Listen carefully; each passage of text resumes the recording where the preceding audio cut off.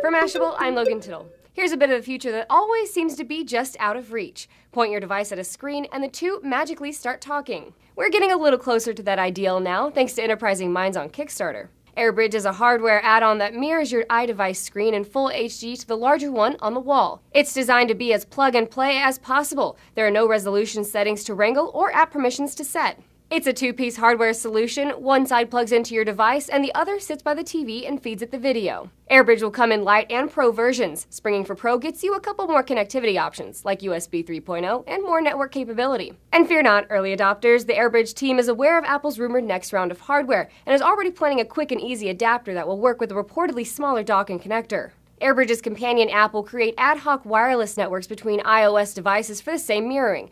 Users can save screenshots and video of what they see and annotate it. The free app includes drag and drop file sharing for users on the network, and a pro version will integrate itself with existing file management systems like Dropbox to send larger files. But first, the AirBridge team needs funding to finish app development and hardware fabrication. It's looking to raise half a million dollars. At the time of writing, it's made nearly 20,000 with 43 days to go. For Mashable, I'm Logan Tittle.